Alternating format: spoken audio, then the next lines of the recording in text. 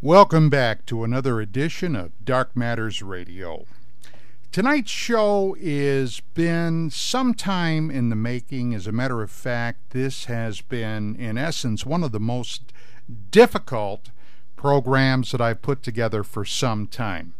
Uh, I think the reason for that will become apparent as the show goes on, but I've had to go back through my files, through my records, and audio tapes going 20 years into the past. And the reason? Well, back in those days, as many of you know, I was the director of research for UFO Magazine. And at that time, there was no doubt that UFO Magazine was the magazine of record covering the UFO beat back in those days, and I'm talking about the late 1980s, the very, very early 1990s, we made our mark by doing a series of extensive behind the scenes investigative reports on not only cases in the UFO field, but also individuals making a major, huge flash. Now, tonight's show, we're going to be dealing with a guy that actually in November of 2001 was killed in a shootout with the police in Eagar, Arizona, and uh, after having shot a police officer in the head. Now, this man's name was William Bill Cooper. And you may be asking yourself, why, after all those years, would I be doing a show on Cooper? Well, recently, and I'm talking about as I do this show the last couple of weeks, my producer, Lan Lamphir, sent me an audio clip that he heard where Cooper was being lauded on the net as being a visionary, someone that basically galvanized the patriot movement. Now, if you're not familiar with UFOs, if you're not familiar with the Patriot movement, you may be wondering just who in the world was Bill Cooper? Well, for that, we've got to go literally back into the past. Now, this has been a long process, and many of you listening to this show will not have even probably been around back in the mid 1980s, but we've got to go back basically to the dawn of the computer revolution. Oh, yeah, computers. Now, circa 1985, the PC, the Apple, the Amiga, whatever your flavor was in those days, basically was a box that was at home. There was no internet as we know it today. Now, sure, there was an internet, but it was primarily concerned and only used mostly by the Department of Defense and college universities. If you bought a computer and you wanted to go online, you had to have a telephone modem. And if you had a telephone modem that allowed you to go online, well, the next thing you had to do was find some place to go. The solution? Bulletin board systems. Now, in 1985, most computer bulletin board systems were primarily concerned with computers and things about computers. But down in Fountain Hills, Arizona, was a guy by the name of Jim Spicer who had a different idea. That idea? Why not do something concerned with not only UFOs, but the weirder, the weirder side of life, the paranormal, things that were periodically cropping up in the news, like the Mothman, uh, the Lizard Man down in Georgia, UFOs, of course, and Paranet got its start. Now, before it was all said and done, there were Paranet BBSs that literally spanned the globe. I happened to be a part of the Paranet system back in those days. As a matter of fact, I was their security director because there were people even then that tried to hack and crack into Paranet. Now, I got my first computer in 1987 And if I tell you what I had in those days, you're but when I bought it, I was just happier than could be. And uh, even though in hindsight I recognized how I got taken for a ride, uh, I had a system that allowed me to do quite a bit. Now, let me tell you about it. It was a Tandy, also known as Radio Shack computer, a 1000 EX system. It had an 8088, an 8088 CPU. It came stock with 256K of memory, and I put more in there until it reached the whopping total of about 384. I had a dot matrix printer. The computer itself was basically a keyboard with one internal floppy drive that took a 360K five and a quarter inch floppy. But by the time I had it all tricked out in 1987, early 1988, hey, I was going places. And I had a 300 baud modem. Now, if you're not sure what that is, look it up online. You're going to be shocked that I bought from Radio Shack to the tune of about a hundred bucks. Now, even though there was no internet, there were pay-as-you-go services.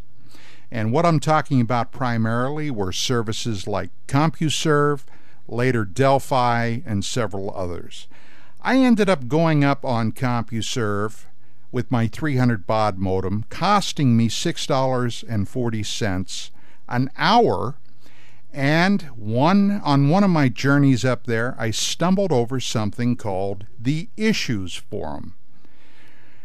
While rooting through there, I came across a number of UFO files, and I came across something else something called MJ12, which had recently been up put there by Bill Moore and Jaime Shandera, the original MJ12 documents. Now, this isn't a show about that, but while I was rooting around, I came across something else called the John Lear hypothesis. Now, John Lear was the son of William Lear of Learjet fame.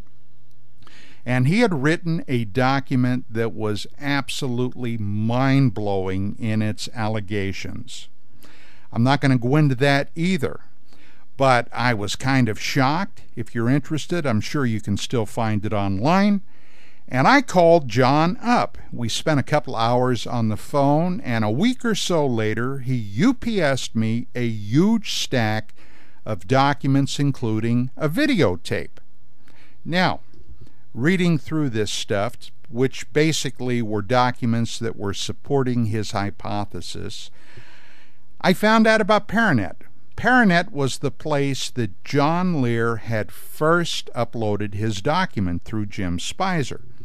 I became a user on the Paranet bulletin board system down in Arizona, and things kind of took off. Now, there was a lot of uh, vitriol that was being spewed about even then, uh, not only at Lear's hypothesis, but there were pro MJ12 proponents, anti MJ12 proponents. As a matter of fact, it's quite a bit like uh, things are today in the UFO field, where everybody apparently hates everybody.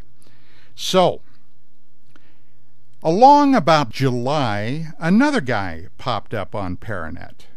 And this guy popped up supporting John Lear initially with 50% of everything he said. This guy's name was William Cooper, Bill Cooper. And things then really began to get interesting. But before I get too wrapped up in all this, let me do this first. I want to play for you that audio clip that Land sent me a couple of weeks ago to let you know what, at least in some areas today, is being said about Mr. Cooper. About what's going on in America. They sow the seeds of discontent for the coming time when America is being led towards this path that we believe it's being led to. We believe America is being set up right now. It's being staged for an insurrection. Now, in just a few of the uh, people that we've mentioned so far in this show, I want to point something out. Most of these hosts owe their existence to a man named William Cooper, who single-handedly blazed a trail which opened up investigations into various causes, including the abusive practices of government, the legality of tax laws within the United States, investigations into UFO phenomena, and the Illuminati higher level Masonic conspiracy that Cooper, from his inside knowledge as a, as a military intelligence agent, knew existed within the shadow government of the United States. Cooper pretty much single handedly carved out an entire form of media that became underground shortwave radio that pulled in many of later practitioners, including many cheap imitators that even to this very day continue to masquerade under the banner of being heirs to William Cooper. Cooper's uh, group still continues to operate and uh, put out information in a legitimate. Nevertheless, Bill Cooper paid the ultimate price for it on November 5th, 2001. Was engaged in a gun battle with police officers in Eagar, Arizona, and as a result, deputies shot and killed him on his property. These are the seedbeds of the Patriot movement, and Bill Cooper is a figure that looms large for all his flaws and for even some of the errors that he may have propagated. Bill Cooper opened up an ability for underground radio to truly have some legitimacy and take away some of the stain of what was called, quote, conspiracy theories. All right, we are back. Now, look, we've got to take a quick break. When we come back, boy, can I promise you a whole lot more. Right here on Dark Matters Radio on the Patriot Brigade Radio Network. Stand by.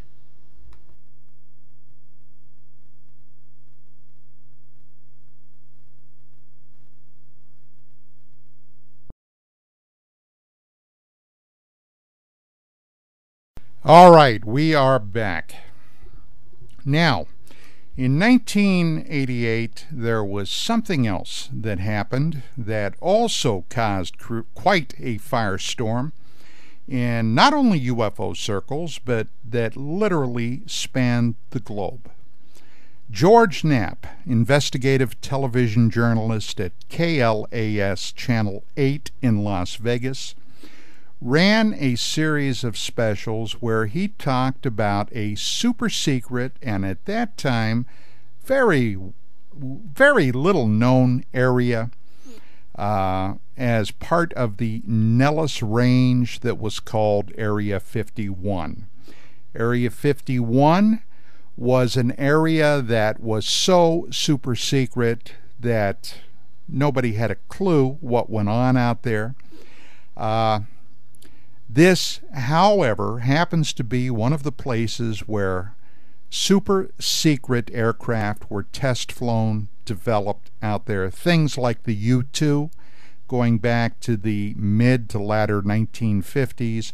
Later on, the aircraft, the Blackbird, the SR 71.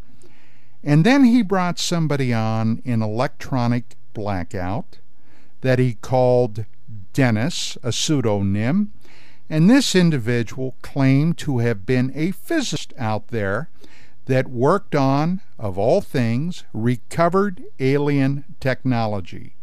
Oh, yeah, crashed flying saucers. Now, talk about creating a firestorm. Later on, Knapp was to do another series of uh, interviews, about a year later, as a matter of fact. But now he identified the individual, a man by the name of Robert Lazar, Bob Lazar. Now, UFO Magazine, of course, was extraordinarily interested in this. And since I knew most of the players down there, by this time I knew John Lear, I certainly knew George Knapp, I later met and discussed, talked to, and interviewed Bob Lazar and Lazar's very good buddy, Gene Huff. We became privy to a lot of information that was not yet then public. Now, of course, there were a lot of people that claimed that Lazar was not the real thing. There were people that uh, uh, alleged that he was a disinformation agent. He was a basically a ozone sniffing sky pilot. But the one thing about Lazar's story that always struck me as something that I couldn't explain was that unlike so many other people in the UFO field, his story never changed. Now we got to bring another name into the mix at this time. Now remember, circa 1988, 1989, there were no Art Bells. Art Bell was doing satellite political talk out of his trailer in Pahrump, in Pahrump, Nevada. There was no Don Ecker. I did not begin begin broadcasting until 1991. But there was a guy in Las Vegas, Nevada. His name was Billy Goodman. He had a show called The Billy Goodman Happening. At the time, it was on KVEG, I believe it was 870 in Las Vegas. And after George Knapp's second series on the super secret area known as Area 51, Goodman secured quite a coup by getting Bob Lazar and Gene Huff to come on his program. Now, when all this was happening, off on the wings was John, still extremely active in the UFO field, and up and coming Bill Cooper. Now, when Cooper first surfaced in the summer of 1988, he came on the Paranet bulletin board uh, system, claiming that in the mid 1960s he was a sailor that was stationed on board a diesel submarine, the USS Tiru. And along about 1966, Cooper claims that while he was on lookout on the bridge of the submarine, of course the sub was surfaced, he and several other people were shocked by a gigantic, and I'm talking about aircraft carrier sized UFO that he alleges left the ocean, flew up into the sky through some clouds, and then either it came back or another one almost identical to it came back. In essence, that was the original story that Cooper gave out. However, as time went by, the story began to change. Soon he was talking about having been part of a ultra secret naval briefing team in CINCPAC fleet in the early 1970s, circa 1972, 1973.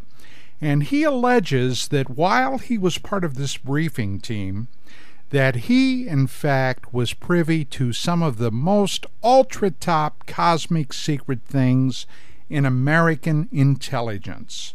And these were to include items like something he later called Operation Majority, which in fact was, in hindsight, a ripoff of Bill Moore's MJ 12 uh, documents that Moore claims to have uh, been privy to. And even later, one of the most corrosive pieces of disinformation to come out of that era of time, involving the John F. Kennedy assassination and allegations that actually it was Kennedy's Secret Service driver that fired the fatal headshot. Now, if you're not familiar with this piece of disinformation proper, propaganda. Its genesis actually goes back to this period of time. I've got to mention another name a man by the name of Lars Hansen. Now, Hansen for years had been a fringe researcher, investigator, looking at some really odd and off the wall things. But he became involved in uh, the John F. Kennedy assassination. He was working with a couple of guys in Northern California that had a theory that the driver of JFK's limousine in Dallas on that fateful day of November the 22nd, 1963, was somehow involved in the murder of President Kennedy. Now, they didn't have a lot of money. They were able to secure a very poor copy of the Zapruder film, probably what Hansen later told me was a fourth or fifth generation copy. They got it into a lab. They washed all the Keller out of the Zapruder film because, as you may or may not know, the Zapruder film originally was Kellerized. What they were trying to do was to enhance the contrasts in this poor generational copy of the Zapruder film. And while they were doing all this and putting it together and taking a look at it, for just a sudden split second, it appears as if the driver is sitting there holding a pistol, a handgun. Now, I know this is radio. It's tough to imagine this if you haven't seen that video. I do have a copy of this video, which incidentally is titled Dallas Revisited. But some little known facts about this, if you were around then or if you heard about this later. This video was never ever to have been in the public arena. When Hansen had this done and he put some narration on it, basically what he wanted to do was to find some investors to basically finance his and his two friends' research into the JFK assassination. Now, back in those days, there were a lot of people that were banging around the periphery of the JFK murder. People like Bob Groden, David Lifton, incidentally, people that Lars Hansen knew. And then one of the biggest mistakes ever. Hansen had been in Las Vegas, saw a uh, brochure listing a public talk that John Lear, son of aviation genius William Lear, was giving on his UFO research. And Hansen went down there thinking that if he could interest Lear in this, Lear, whom at the time Hansen believed was part of the Lear fortune, might be persuaded to finance his research, not being aware at the time that Bill Lear and John Lear had had a major falling out before Bill Lear's death, and Bill Lear had cut John from the family fortune. Well, he got down there, met Lear, told him who he was, and gave Lear a copy of this tape. Now, things were to get even more interesting, talking about Bill Cooper. All this time, Cooper's story kept increasing in size and scope. Now he was a former intelligence briefer, which incidentally, in 1990, I did an extensive research and expose on Cooper, which is one of the reasons that we're sitting here today talking about this. And I found out that if Cooper had been part of anything having to do with the briefing team, it was in the audio visual section of it, which meant, in essence, that what he did was carry out the full ashtrays and carry in the pots of coffee. But be that as it may, later I was to talk to a number of people about Cooper's background. One of the people that I interviewed was former Las Vegas Bullet reporter Mr. Tony Pelham. And I interviewed Pelham about Cooper and his story, and this is what Pelham had to say. Called me on Cooper's second trip up here a couple of years ago to Lear's house. And as you know, I was a, you might not know, I was a. You were a reporter for the Las Vegas Bullet. Weekly tabloid, right. and I saw John doing these lectures. And I said, wait a minute, John, he's a wealthy, intelligent guy. So I went up, introduced myself, and said, John, I want to write about this. But I said, either I'm going to write that you're a kook, or I want to retrace everything you've done. So I'll understand about the little graves and the underground bases and all that. So I started reading and, and uh, tracing down leads and got involved with Linda Howe and the mutilated cows. And so one morning John called me and said, hey, I got a guy from the Navy up here. I want you to come up here right away. You got to. I went up, introduced myself as Cooper, He talked for about two hours and explained his whole story from 1972 when he saw these documents, the briefing team, and so forth. So I went back and I tried to absorb this, and then I started talking with Cooper on the phone. And he uh, gave us this name of Bob Swan. And Lear had been over to Hawaii since then, and he wasn't able to get a hold of this Bob Swan, but he, he said he was a building contractor over there. I kept calling until I finally got Bob Swan on the phone. And, and I introduced myself, and Swan concurred. Said, yeah, says, I was Bill Cooper's closest friend in 72. It was the night of the eve of the wedding. John, uh, Bill uh, Cooper came to me and said, hey, I've uh, got these documents. Now, let me ask you a question, Tony. When was this that you spoke to Bob Swan?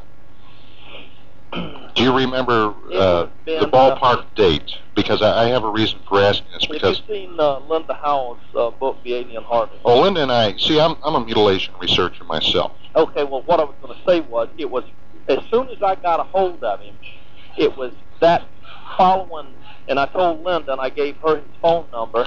She got a hold of him, and then that letter that Swan sent her, whatever that date is, it would have been about two to three months prior to that when I talked to him. So we're talking roughly September, October 1988. Right.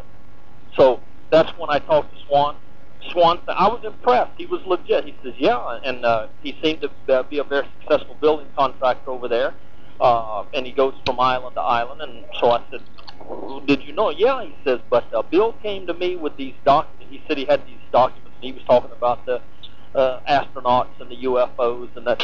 He says, and he says, I can tell you up front. He says, I never accepted any documents. He says, first of all, he says, if John, if Bill had some top secret stuff, he said, as a civilian, I didn't want to have anything to do with. He said because that's against the law, and he says I figured our government knew what they were doing. But he said, yeah. The only thing he would talk about said, yeah, John said it was talking about there was a base on the other side of the moon, and that our astronauts had been followed by UFOs. That was the extent of it. There was none of this Kennedy stuff or any of that stuff. So I said, what did you do? He said, listen, I didn't get any documents. He says, John, uh, Bill never gave me any documents. He said he had some papers there, but he says, I don't even know that I actually looked at them. He says, I just didn't want to be involved. in it. He says, but Bill did seem to be very concerned about the whole thing. Now wait a minute, now Tony. Let me let me make sure I get this straight, okay? I want to get get this absolutely correct. Bob Swan told you that the only thing he recalled was that Cooper had mentioned something about UFOs following the astronauts up to the moon, and allegedly there was an alien base on the dark side of the moon. That was the extent of it. No, no, and, and I talked to him for about a half an hour on the phone. I, I, he says, "Listen, you know, up front, he says, well, listen, he says, even though Bill's been out of the Navy all these years, he says, I don't even know if I should be talking about it. He says, because uh, he says, couldn't he still get in a lot of trouble about this? I said, well, no, because Bill Cooper is advertising it and trying to tell the world all this stuff. So I said, but we, we're trying to verify if he's a phony or if, if any of this stuff actually happened. But uh, so then when I put him in touch with uh, him and Linda Howe in touch, he wrote her this letter that she published in her book. If you read the book very carefully, it doesn't really say any more than what I've said. No, I, I, as a matter of fact, not only have I read the book, I reviewed the book for UFO Magazine. Okay, well then you, you see that still we've seen no documents. Then when I started spending my time with with Bill Cooper, and mind you, the reason I maintain the relationship the way I do, and it took me as long as John, uh, and this uh, George Knapp had asked me a long time ago to do that interview, and I finally reluctantly did it. I'm not a ufologist. I'm not on in any any different segment or faction of this thing. I'm a curious person, so I I maintained a relationship with Bill Cooper when he put into talking about Fatima, and when this Galileo was launched, and they're going to shoot plutonium to them. I go along with all this. I never I never looked at Bill Cooper and said, Bill, you're full of shit, or I don't believe this. I keep the lines of communication open Right. so people will tell me as much as they'll tell me. So when he uh, insisted about the documents, said, and I said, well, Bill, I said, as a reporter, I, I want to verify all this. He says, well, great. This, he says, this is what I've been looking for, a reporter, somebody that can verify my background. He gave me that resume of those six previous employers. I called all six of them up, and I could only verify like two of them hmm and it was like uh you know some little training school or something, you know, like where people go to. In other words, it wasn't like he's the prof- he's a president of some university in California or something. I mean, I, I, you know, he the people did remember him, and then after I told him I had checked with a couple of schools, he says, "Oh, by the way," he says, "I was never really fired uh, from any job because of my UFO involvement." He says, uh, "But after I was did leave, quit, my boss says, Bill, I, really wish you hadn't gotten involved in that UFO stuff." But prior to that, he was saying, "Yeah, I've been fired and uh, threatened." Well, he came out publicly in 1988, and I have this on record from uh, the com- uh, Paranet Computer Informational System, Yeah. uh, which I happen to be a part of, Tony, and he was claiming that he was fired and lost a $75,000 a year job because of his UFO disclosures. that was a lie because after I checked out that resume and he knew I was going to the trouble to check these things out, he called me and he says, "Oh, Tony, uh, I, because apparently one of these previous employers had mentioned that I was checking all this out." He says, "Oh." He says, I never was actually fired. He says, but my, he said, I would have been. He says, my employer told me after I resigned, he says, Bill, gosh, I just really wish you hadn't got involved in all this UFO stuff. You know, you'd, have, you would have made a great team or something like that.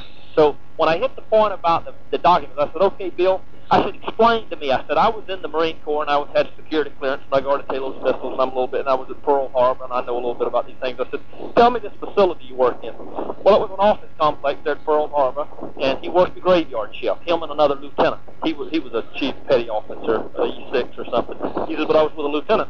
Worked the graveyard shift.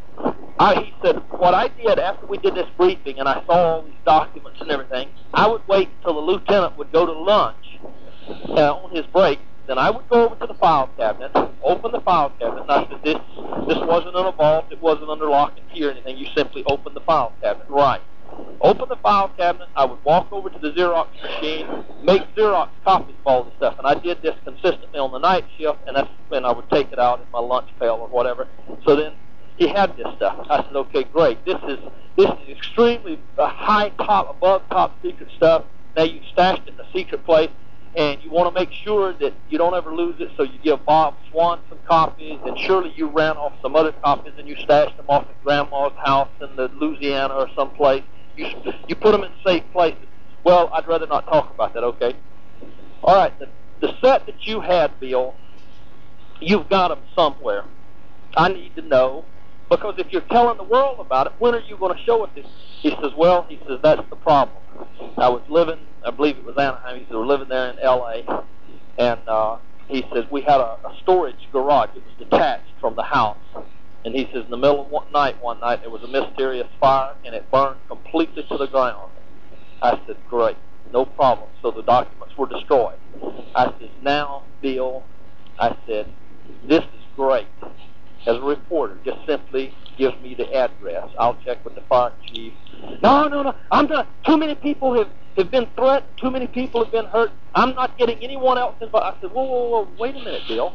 I'm simply going to check a date and an address to verify that there was a fire at that address. End story. No, no, I don't want to. I'm, I'm not going to do it, Tony. He got. There went the problem. When someone tried to verify this extraordinary story, when someone tried to sit down and figure out what was really going on, suddenly Cooper would clam up. And it was great because it was, in a way, a self fulfilling prophecy. Later on, of course, as more and more people began to try to check up on this extraordinary story, find out is this guy for real or not, suddenly, here we were, all agents of the secret government, trying to destroy Bill Cooper, who was trying to bring the truth to the American people while he was wrapped up in the American flag and the Constitution of the United States. We're going to take another break. Hang on, we're going to be back in just a moment, and when we do, more of Dark Matters Radio right here, heard only on the Patriots Brigade Radio Network. Of course, there was a lot more going on at that period of time. There were conflict and confusion over the MJ 12 documents, conflict and confusion over the John Lear paper, And of course, that extraordinary story brought to us by George Knapp, investigative reporter from KLAS Channel 8 in Las Vegas, on that mysterious and enigmatic guy, Robert Lazar. Now, in November of 1989, Lazar went on the second series of specials where Knapp was talking about, among other things, Area 51, and Lazar went on using his own face, his own name, and told an extraordinary story about having been hired by EG&G in Las Vegas, which was a government contractor, flown out to Area 51, then bussed to an even more secret site called Area S4, where Lazar claimed that he worked on recovered alien technology. In other words, ladies and gentlemen, a flying saucer. Now, this story reverberated literally all across the globe. KLAS received calls from people all across the entire planet wanting to get their hands on a copy of that story. Now, Billy Goodman, radio host for KVEG, was able to secure Lazar to come on his program along with his buddy Gene Huff, where Lazar once again talked about his story and when Goodman threw open the lines, he started to receive a ton of phone calls. And sooner than later, sure enough, one call came in from Mr. William Bill Cooper, who told the world, hey, I checked this guy out through my intelligence sources, and he's the real McCoy. But why have me tell you about it? Hang on just a second, and I'll have Cooper tell you about it. How are you feeling tonight? Well, I'm feeling a little better. As you can hear, my voice still isn't right Oh, yet. I yes. apologize to your listeners. Well, for just that. don't get too close to the telephone. Oh, I'm, I'm breath- breathing it right through the line. uh, I just want to make a few comments, Billy. I really don't have any questions, but Oh. it pertains, and I'd like to clear up a couple of uh, misunderstandings here. Number one, um, I'd like to really thank Bob Lazar for coming forward. I have been talking to him over the last year, along with John Lear. We met uh, in groups and privately and um, the man has a wealth of information. I am tickled pink that he finally decided to come forward and use his real name because it helps all of us. Uh, and I thank you from the bottom of my heart, Bob. Oh, thanks, Bill. Um, number two is that Bob is giving the impression on the air that he's doing this for selfish reasons, and I know better than that.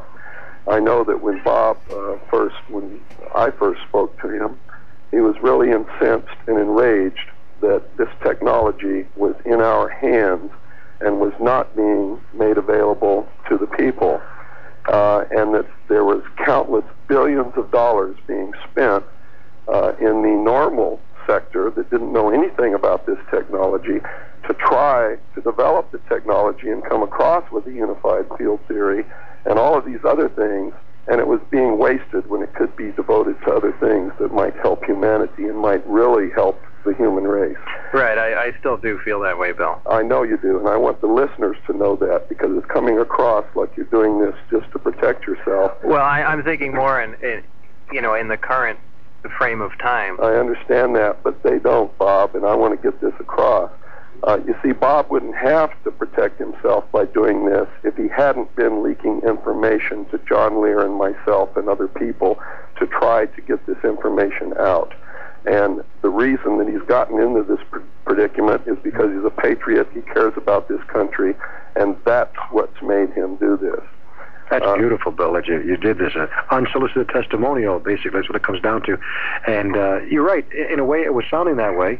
Uh, but also, uh, he did, towards the end, mention the fact that he was hoping some of his compadres would come forward, too. Yes, and, Yeah. and that's something else I need to address. But first, I'd like to say that I personally, and also Tony Pelham, and also uh, uh, the Channel 8 news staff, uh, George Knapp, and several other people, John Lear, we have all investigated this man's background thoroughly because we didn't want to be sucked into a trap by the government. And I can tell you that he is who he says he is. He has worked at Los Alamos. He is a physicist. He's a theoretical physicist. He has worked at Area S4 in Groom Lake. We have verified all of this, not just me, but several other people. Uh, and I've also verified it by two different sources of mine who are within the government. One works for Lawrence Livermore National Laboratory. Uh, on the comments about his. I had, by the way, Bill, not to interrupt you, but I had no idea you guys did that. Oh yes, all of us did it because we're we're terrified just like you are, uh, and we're always on the lookout for somebody trying to trap us in something that we can be discredited by. After these series of shows on the Billy Goodman happening with Bob Lazar, suddenly Goodman hit big all over the western United States. And he had quite a going concern there. Like I said, this was a number of years before Art Bell. This was a number of years before I started broadcasting. And UFOs were still an anomaly on the on the open airwaves. And remember, there was not an internet like there is today you could not find this stuff on the net because the net wasn't accessible. So suddenly Goodman hit it big. Now, for some unknown reason, I still am not sure why, KVEG fired Billy Goodman.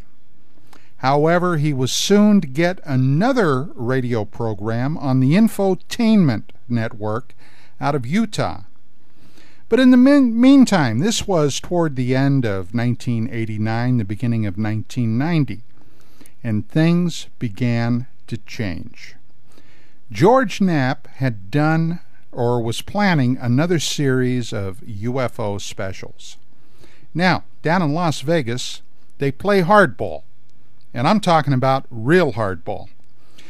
There were a number of other competing television stations that were pretty upset at the huge ratings that uh, Knapp had garnered. So, playing hardball, what these people did was to go out and hire some private investigators. And they began following George Knapp and Bob Lazar around. Now, Lazar is a rather interesting guy. Uh, even today, it's been a number of years since I've spoken to him, but still, there are things that periodically pop up about Bob Lazar. During this period of time, Lazar, after he had uh, left his gig at S4, he had taken a number of people out to the Green Mountains to watch a secret test of one of these objects, whatever they were, regardless of whether they were a genuine flying saucer from outer space or some type of ultra top secret government project. He let John Lear, Gene Huff, and his sister in law know that there was going to be a test. At the time, they were testing these secret craft mostly on Wednesday evenings. They all went out there they saw a test of something darting around the mountains at unbelievable speeds, just a brilliant white blob of light. But when they got all done, later, as they were leaving, they got caught. They got stopped. And uh, as a result, Lazar was busted. Now, he was taken in for a debriefing. He was, according to his own story, threatened at gunpoint. There were a lot of other things that happened. But Knapp was getting all of this on the TV show. And while they're following Knapp and Lazar around, Lazar was privy or knew a madam that had a house of ill repute in Las Vegas. Now we're talking about Clark County. Now, prostitution is legal in the state of Nevada. However, Clark County, where Las Vegas is situated, it is not legal. And according to Knapp's reporting, Lazar had gone down at the request of this madam and had set up a computer and software and security system for her. So, Knapp found out that they were being followed and that this competing television station was going to run this report on Lazar going to a bordello. Well, Knapp did what any good, quick thinking journalist would do convinced Lazar to go on the air and preempt their story, which opened up a whole new can of worms. In the interim, Knapp had also gone to John Lear and several other people, including Cooper, and had interviewed them for his TV show. Now, during the course of this interview, Lear let out a story that uh, I was to cover extensively in UFO magazine about one of his documents known as the O.H. Krill document.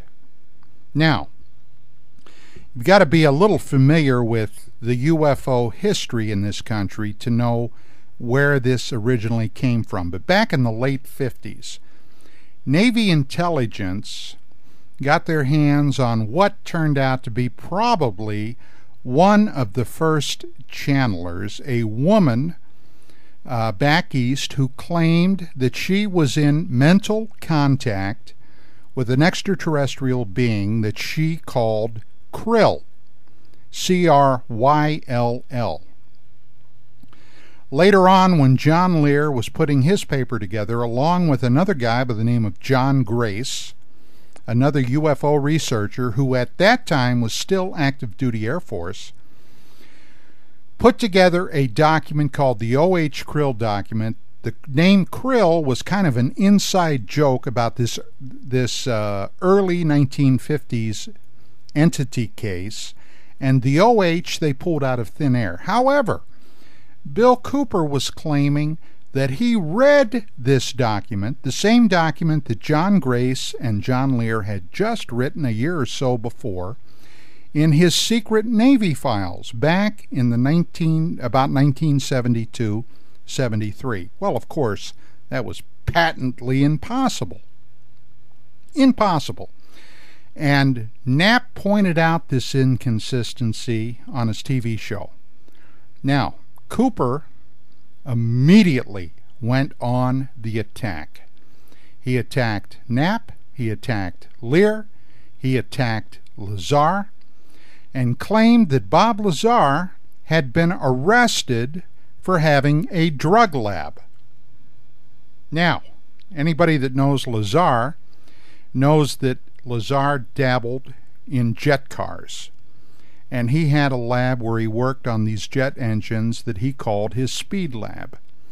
Cooper took this speed lab reference and turned it into drug dealing. His uh, modus operandi has always been if you try to hurt me, I'm gonna hurt you first. And this is when I became involved because, quite frankly, I knew all these people. I had been watching Cooper. I had been watching the way Cooper's story had changed over a period of time. And I was one of the first people that was in contact with him when he first came out of the woodwork in the summer of 1988. Well, things were about to get a whole lot nastier.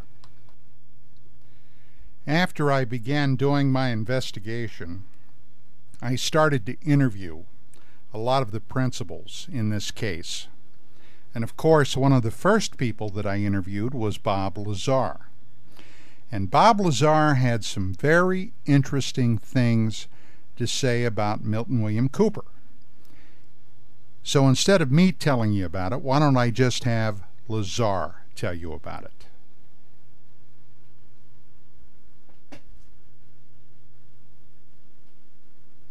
The thing that, that I found so amazing is that John Lear was basically the reason that uh, Cooper ever received any notice in the UFO field at all.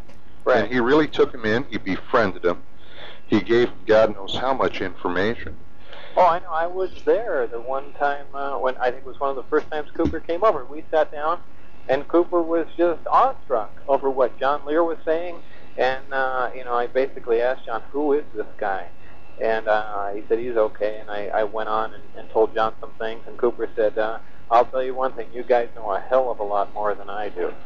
And uh, you know that was that's a quote directly out of Cooper's mouth. And now, you know, Cooper knows all. You know, and uh, he uh, well, I, I don't know what Cooper really did, what his involvement was, but. Uh, As far as going back to 1972, 73? Yeah, I, who knows? I, I, I don't know. Well, I, I've got a hell of a lot of information. So, this was uh, another inclination that a lot of this appeared to be made up on the spot. Now, the other thing that Cooper was really pushing then was the JFK assassination tape. Now, remember that in this tape, which was originally made by Lars Hansen, and it was never meant for public dissemination, Hansen had given a copy of this to Lear, thinking that Lear might be able to help finance his research. Cooper appropriated that. Suddenly, Cooper was claiming that he read in his top secret Navy files back in 1972 1973 that the limousine driver had actually been the person to fire the fatal headshot into JFK. Now, originally on this tape, and originally Cooper claimed that what the Secret Service agent was shooting was a 45 caliber handgun. Now, I'm quite familiar with firearms, with weapons, not only from my military service, but from my law enforcement service.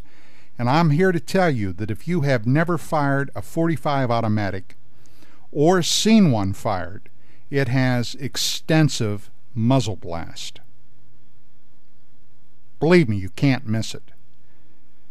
But it's obvious on this videotape that there is no muzzle blast, which in hindsight makes sense because there's no gun. But when that became obvious to Cooper, suddenly Cooper started claiming that this was a secret CIA air gun firing a pellet loaded with shellfish toxin. Now, when Hansen discovered that Cooper was starting to hawk this at every venue he could for 25 and 30 bucks a pop to buy a copy of this tape, he tried to get Cooper to stop. Cooper absolutely refused. I mean, when you talk about blatant, one thing you can't take away from William Cooper, he was the most blatant BS artist I have ever run into. But there was a radio host out here in Los Angeles at the time by the name of Tom Leykis. And right before a major uh, presentation that Cooper gave at Hollywood High School, Lars Hansen went on the Tom Leykis show with Bill Cooper and debated him.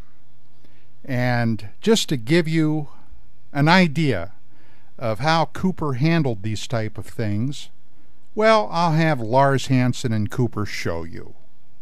Look, Mister, I wasn't I wasn't pushing this to the public. This was to to get uh, support and assistance from other researchers and from investors. This thing to, is discredited on its face. You talk about. well, fine. That's why I'm not promoting it. That's why I'm not promoting it. That's why I haven't been Well- promoting it. Well, then, then all the I mean, you know, what kind of argument- fraud? Because you're putting out a piece of garbage, and now you're backtracking.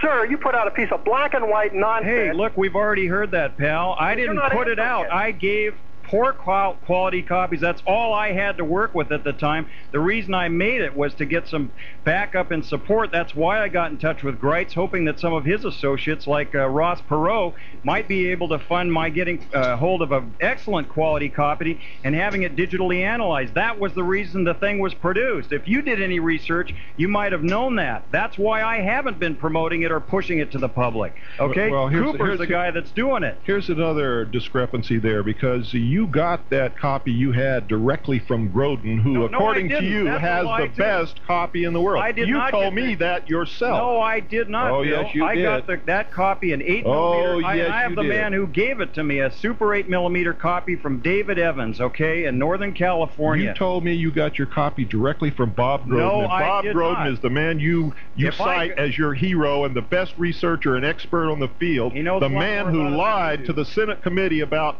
uh, William Greer take not taking his hands off the wheel, which people are going to be able to Well, see not on only- August the 19th at Hollywood High School. I guarantee you, and they'll make up their own mind. And when they see that, your credibility is going to be down in the bottom of the pit. Bill, my whole point was to get to the truth about the issue of who. We're going to get to it, but the people are going to decide the truth, not you, Lars Hansen. Okay, They're well, going to see for themselves. I'm not trying to stop it, Bill. Long before. Oh, yes, you are. You're doing everything you can to stop it, but you won't. The Well, American people are going to see that film, and they're going to know who killed their president. Long before you ever latched onto this subject, Bill, I made the tape and began the research. A year before you went public and said you saw it in the documents, I had already researched it and contacted people like Colonel Bo Gritz and John Lear And we're a number of telling other people that William Greer shot President Kennedy, Telling- and now you're backpedaling and saying somebody proved that he didn't. Show us the proof. No, the Where's whole- the proof that Greer didn't shoot the president? Well, it's it's on. You've said right here that it's been proven. Show us the proof. Where's the proof? How am I going to show you? You're trying on to keep the American people from knowing Oh, who come on, shot the Bill. president.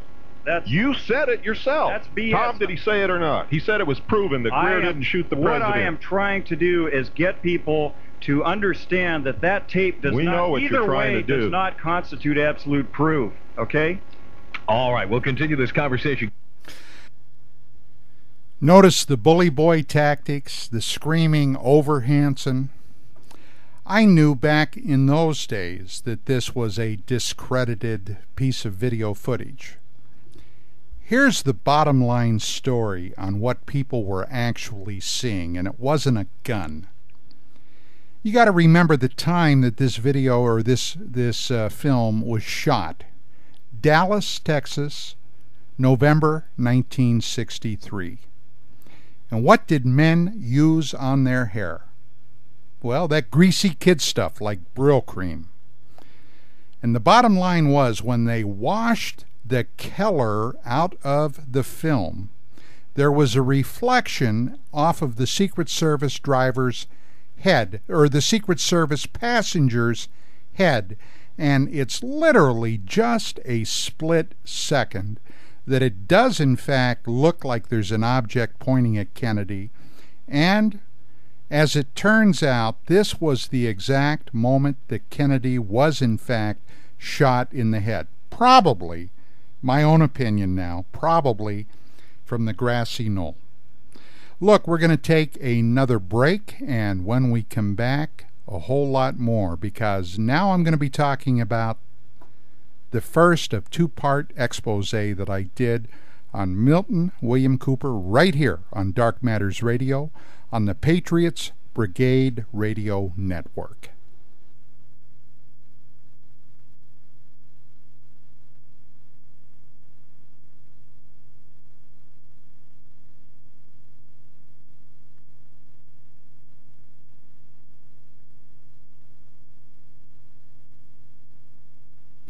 Welcome back to Dark Matters. Okay.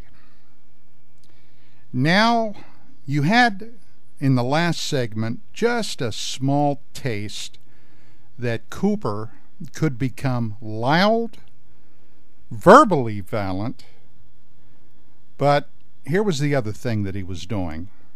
And he did it the entire time I knew him. He drank alcohol to excess. As he later told a couple of people he was in business with. Hollywood movie star Michael Callan and Callan's best friend, who was an old time Hollywood executive by the name of Doug Dean, he would drink a bottle of Chivas Regal nightly or at least every other night. He was so concerned about the secret government coming to get him. Now, Callan and Dean had heard Cooper back on the early days of the Billy Goodman happening. Doug Dean had had an interest in UFOs for many, many years. So he got together with Michael Callan. They approached Cooper and said, Look, we could package you in the show business way and get your message out there in a big way. Are you interested?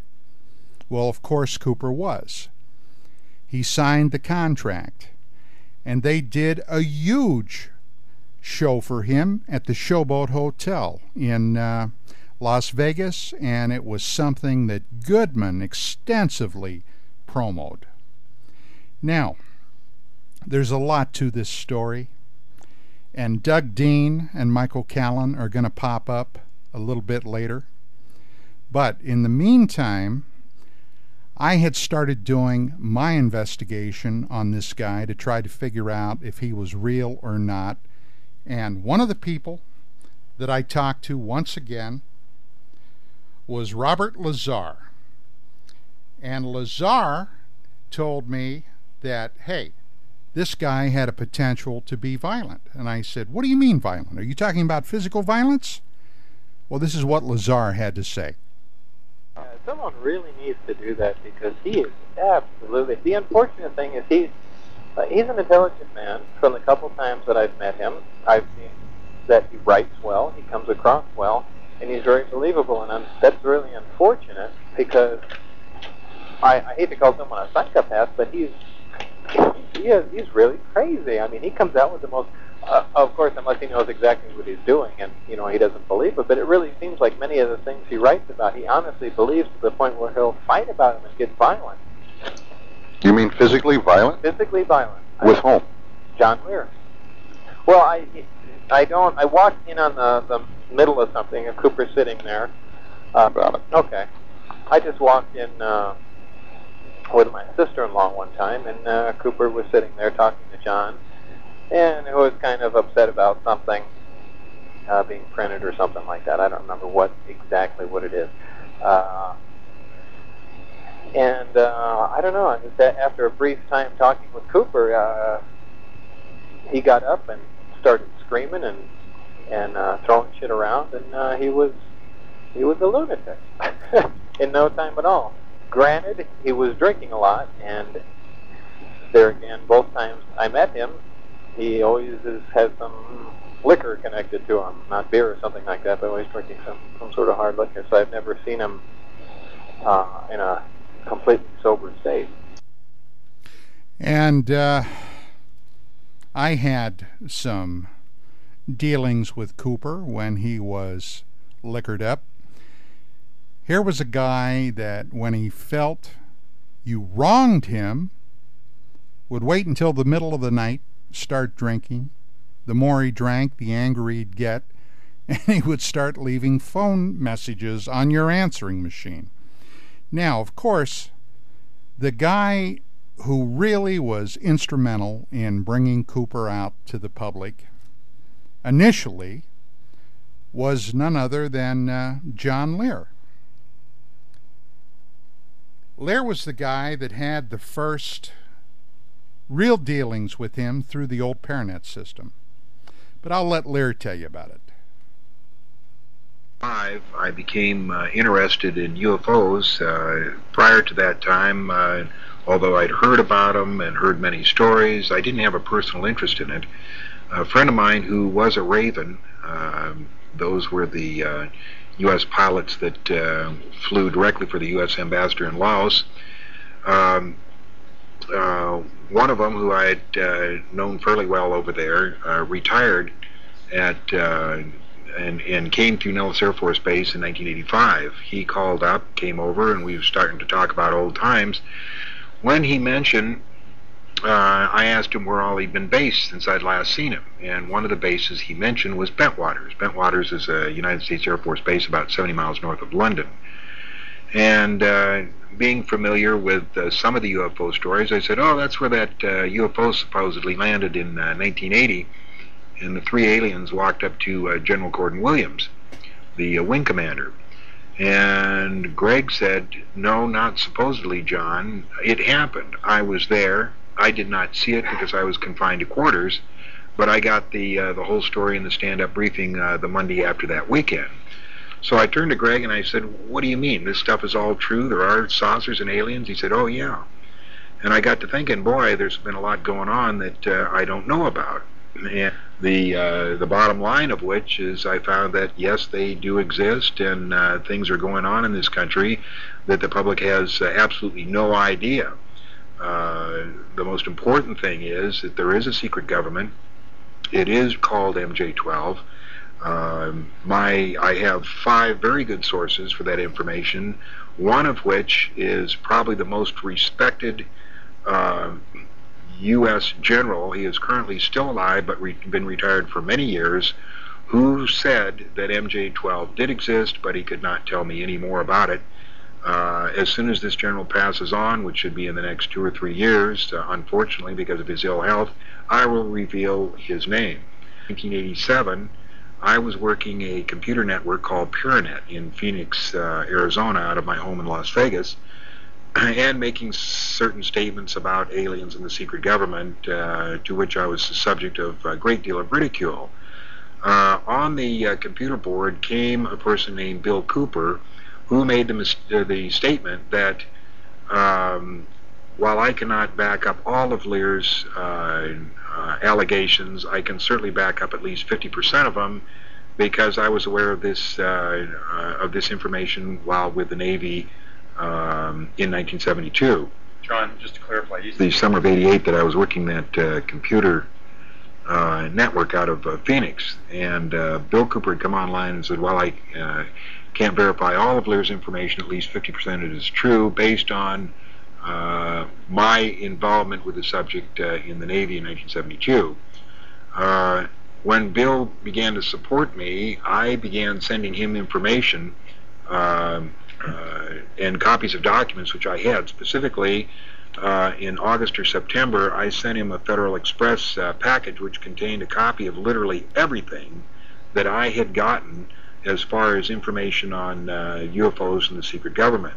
Sent him a number of tapes. There might have been three or four um, of uh, videotapes uh, containing um, video programs such as the uh, 1985 uh, CNN broadcast of the Bentwaters incident, uh, UFOs past, present, and future that was produced uh, uh, in cooperation uh, with the Pentagon by uh, Sandler Films uh, and another a number of other films. In this uh, package was the President Kennedy tape, um, the, the Zapruder film, or a copy of the Zapruder film, which I had ta- obtained from Lars Hansen. Uh, so that would have been September or October of 1988.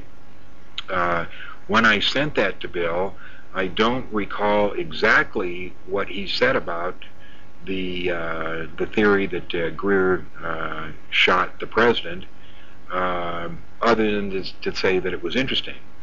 Um, the first time that I heard Bill really come out and say anything definitive about uh, that particular sequence was in an April or May uh, show called On the Record with George Knapp here in Las Vegas, in which uh, George Knapp, uh, uh, in which I made the showed the tape and made the allegation that that uh, it was a possibility that Greer shot the president. Um, George turned to Bill and said, uh, "Did you hear anything about this when you were in the Navy?" Uh, Bill Cooper said, "No, I didn't hear anything about it. I read about it, and I was startled." Uh, because I had never heard Bill say anything so positive uh, about the the Greer shooting, and that was the first time I'd heard him come out so positive about it. Well, as it appears, as things would pop up, Cooper appropriated them. I saw him do this time and time again. And he was getting more and more airtime on the Billy Goodman happening. Now, remember, earlier in the show, one of the names that popped up in connection with checking out Bill Cooper was former Las Vegas Bullet reporter Tony Pelham. Now, while I was interviewing Tony, the subject of Billy Goodman and his radio show popped up. Tony told me about a time that Goodman had called him up because, according to Bill Cooper, what Cooper told Goodman, Pelham could verify everything that he had to say about his background. But why have me tell you about it? I'll have Pelham tell you. But the guy's not. Uh, I mean, he's he, he's fairly sharp because I know he's uh, making a living out of this thing. I mean, he's making some money somehow, isn't he? Oh my God! Yeah, he's making money. Showboat. He come up here and. Uh, Yeah, what? Seven hundred people were up there. At, uh, Billy Goodman called me right before that. I don't know if uh, Bill had told him, but Billy Goodman didn't remember me when he was trying to sell me on Elvis is Alive and Well a few years ago in Vegas. And he says, "Oh, I need you to go on to my talk show tonight." He said, "I understand you can verify Bill Cooper." And I started telling him basically like what I've been saying. Oh no no no no no! Well, we believe Bill Cooper. We, we can't have you on the show. Well, the bottom line was Goodman saw Cooper as a big draw to his radio show. And of course, what do radio shows do? They sell advertising. No big surprise. So, later on that summer of 1990, part one of my expose ran in UFO magazine. The volume was volume 5, issue number 4. The month or a month and a half after that, the second part of my expose on Cooper ran in volume 5, number 5. Now, immediately upon part 1 running, we received one day a certified letter. I looked at the letter. On the letter was a name I had never seen before, so I opened the letter up, signed for it, opened it up, and it was a letter from Bill Cooper demanding that we retract everything or his lawyer is going to file suit on a contingency basis. I have nothing to lose. Go for it. Well, we answered that letter in the pages of UFO magazine and said, well, you know, the best defense against libel is the truth. And we are backing up everything that was in that article. So if you want to sue, buddy, you're just going to have to sue. Well, that was the last we ever heard of it. But Cooper, in the interim, had begun publishing a small newsletter called the Cadgy Newsletter. And suddenly, along with George Knapp, John Lear, Bob Lazar, Whitley Strieber, Stanton Friedman, Bill Moore, Jaime Shandera, we were now being named as secret agents of the secret government. Well, this is all part and parcel of the publishing game. You can't please everybody. So, part two ran Along Comes September 1990. And on the evening of September the 26th and the early morning hours of September 27th, I got a phone call. It was late at night. I hadn't gone to bed yet, but I was watching TV or something. I answered the phone. Hello? It was somebody I knew, and they said, Don, are you listening to Billy Goodman?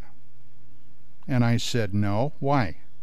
Bill Cooper is on there, and boy, is he tearing you and Vicky up. So I said, Okay, thanks. So I turned on the radio, and sure enough, Cooper was on there, and he was tearing us up. But look, before we get into that part of the story, we're going to take another little break, and when we come back, more of Dark Matters Radio on the Patriots Brigade Radio Network. This is the Bill Cooper story.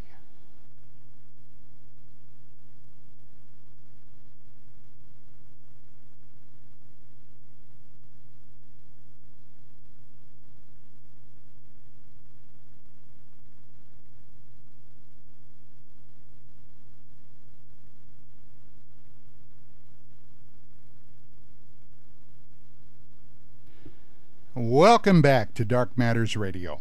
Now, later on, a friend of mine sent me an audio tape of the entire show because, quite frankly, I came in in the latter part of the show, like an hour before it was going off the air.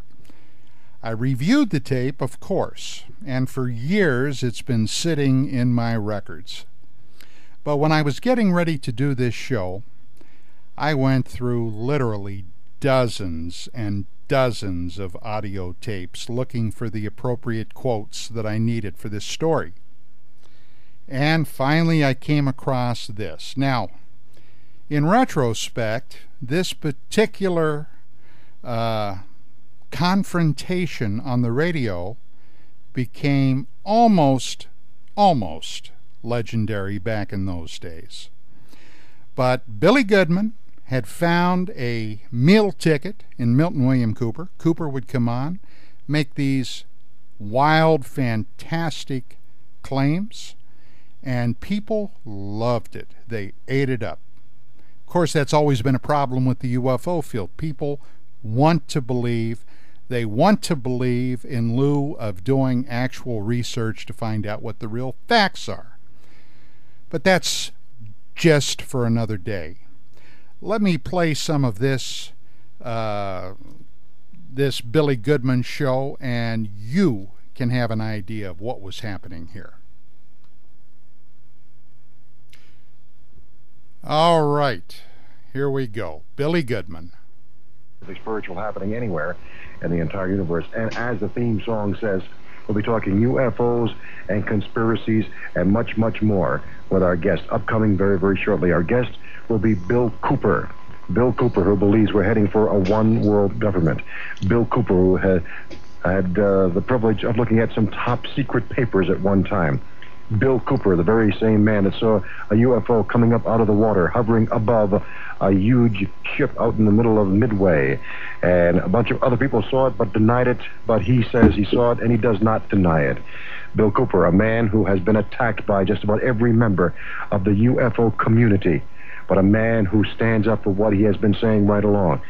And Bill Cooper is a man that uh, has been telling a story and a story that sometimes is hard to believe. But if he's telling the truth, he is the only man that has come forth to tell the truth because everybody else in the UFO community and in the conspiracy end of things is calling this man a liar and a total fraud. You're going to hear his side of the story. He's a man that's been challenged from all different sides, and he's come out on top every single time. He's a man that's been in the ring a number of times, literally in the ring a number of times, and he's a man that'll be joining us right after this word. Oh, yeah. There he is, Bill Cooper, all American hero. when he says that he's been in the ring, that's kind of funny too because on a number of occasions, several occasions, at various UFO conferences, before Cooper basically burned all his bridges in the UFO field, he had gotten, uh, shall we say, liquored up just a bit and would get in arguments. One particular case happened down in San Diego back in the early 90s where he literally got in a fist fight with another guy by the name of Erik Beckjord. Oh, yes, this Cooper was quite a character, but his main raison d'etre was the Zapruder film. By now, most of the UFO stuff he was kind of hedging on. Well, maybe it's real, maybe it's not, but the one thing that he would go to the mats on was the driver of JFK's limousine was the murderer. Same show, Billy Goodman, the night of September 26, talking about the Zapruder film. Uh, does John Lear work for the CIA? John Lear has worked for the CIA all of his life. Okay. Um, I talked to a guy who's been researching the JFK assassination for 15 years, and uh, the 18 of the 18 people killed, uh, he told me that only one of those was actually there, and he died in a car accident on the way to give some information to a lawyer, but the other people were only involved in the investigation, from what he told me. Well, there were 18 people uh, that were involved with the Kennedy assassination, either there as witnesses or involved in it in some way directly, and I mean directly enough that the police really needed these people as witnesses, and uh, they were killed within two years.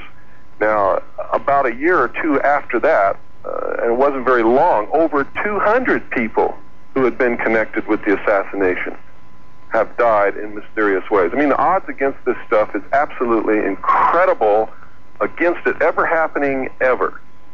You know that right now, over 200 people connected to the Kennedy assassination are all dead? Right this very moment?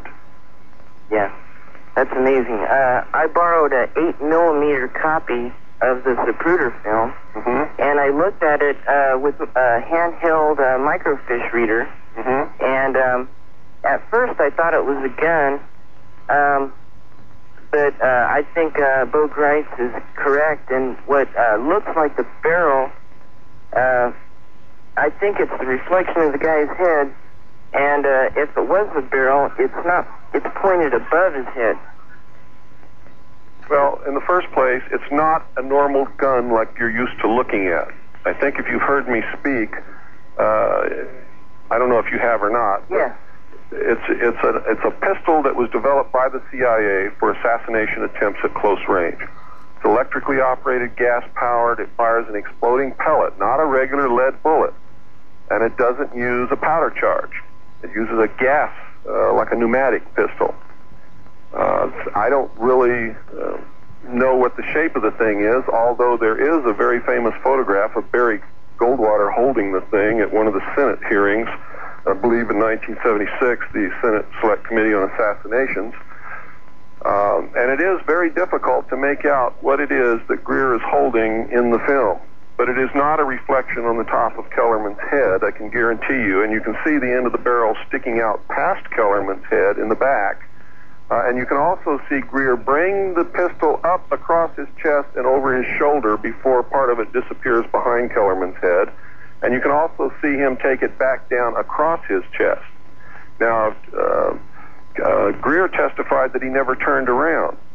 The so-called expert uh, on the Kennedy assassination, Bob Groden, who was hired as the photographic expert, the man who has no degrees in photography, ha- has no experience in photography whatsoever, uh, told the Senate Select Committee on Assassinations that Greer never turned around either.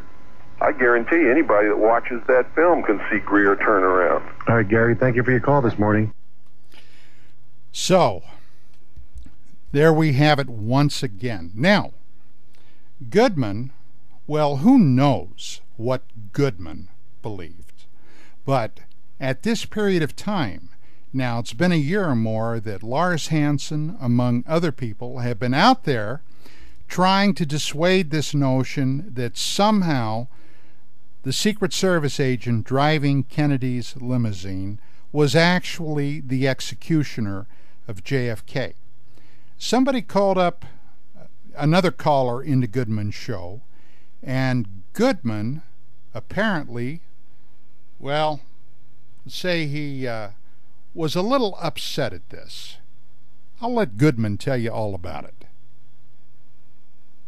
Above his shoulder, and I say something because, like you say, it's not a gun per se or a weapon we're used to seeing, and something does happen there.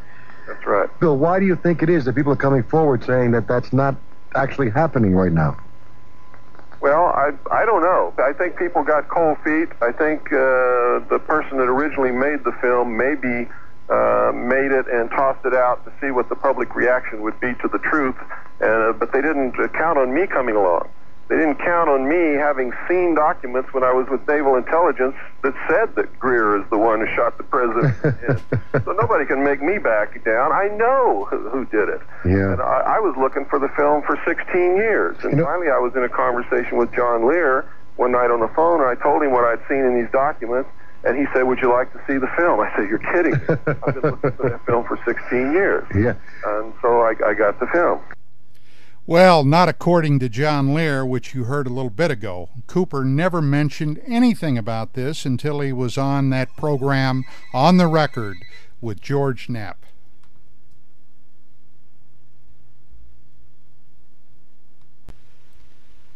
Now, by this time, with my part one expose in UFO magazine having come out and my part two just coming out, and a number of very prominent people within the UFO field all asking questions about Cooper, he was beginning to feel more and more isolated. There's no doubt by this time that a lot of people had heard that there were questions about Milton William Cooper. Now, this was something that Goodman addressed, especially on this particular show. Because by now it was common knowledge that Cooper had made a number of serious gaffes that came back to haunt him. This is how he responded. Question, hopefully you'll answer it to, for us. Why is it that members of the UFO community are calling you a fraud and a liar and really coming after you and trying to stop you uh, on your quest? Well, it's not really the members of the UFO community, uh, Billy. It's the leaders of the UFO community, and it's not all of the leaders either, because some of the leaders are staunch supporters.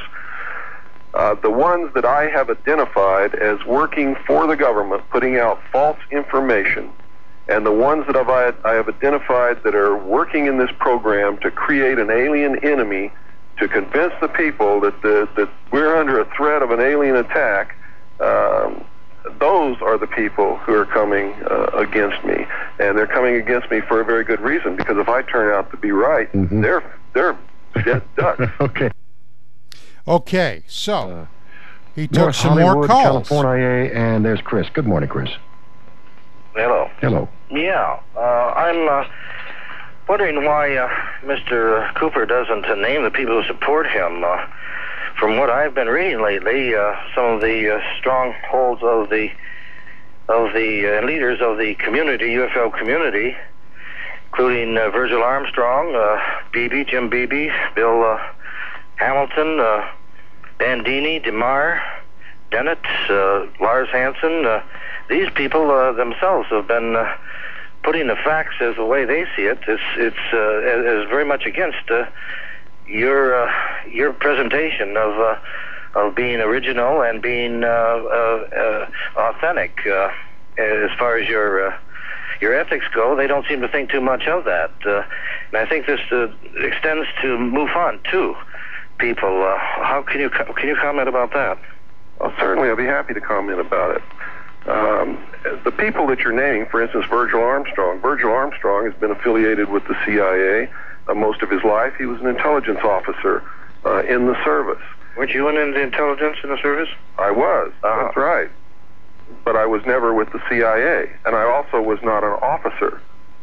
You understand? The well, I don't know. Seems well, like... there's a big difference, and for people in the military, they know what that difference is. You see, there's rules and regulations that say you can't talk about this stuff. You can't talk about it. Okay?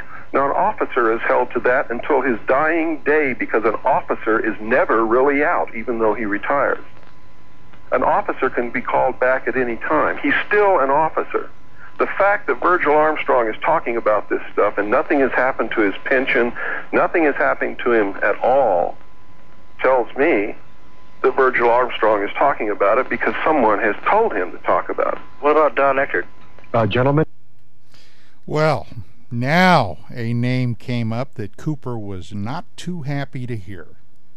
that was my name. Now, this is when he started his attacks, and later, a little bit later after this, in real time, is when I got the telephone call telling me to tune in. But this is Cooper's response. Those are local numbers for you folks in the Utah area, obviously. Now let's go back to Bill Cooper and Chris in North Hollywood.